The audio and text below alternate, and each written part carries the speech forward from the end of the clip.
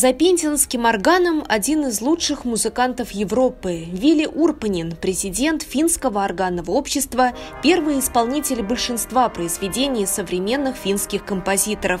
Но первое международное признание органист получил как исполнитель музыки великого Баха, а позже и романтической музыки.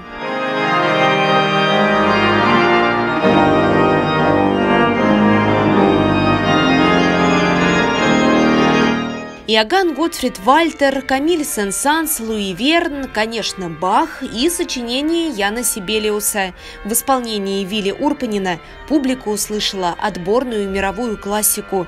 И эти мелодии органист знает с детства. Дома в семействе Урпанин был собственный орган. I started when I was 10 years old.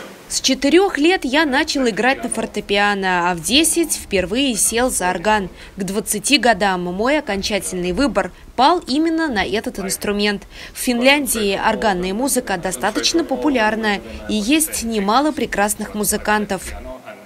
Выпускник музыкальной академии имени Яна Сибелиуса сегодня сам профессор. Успевает не только преподавать, но и активно гастролирует. К примеру, эти гастроли по России уже 23-й по счету, но в Пензе органист впервые.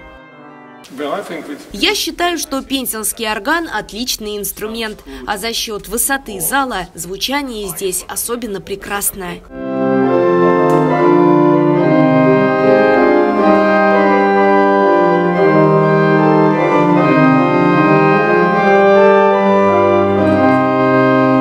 Гастроли Вилли Урпанина по России продолжатся выступлением в Саратове, но а пензенский орган долго скучать не будет.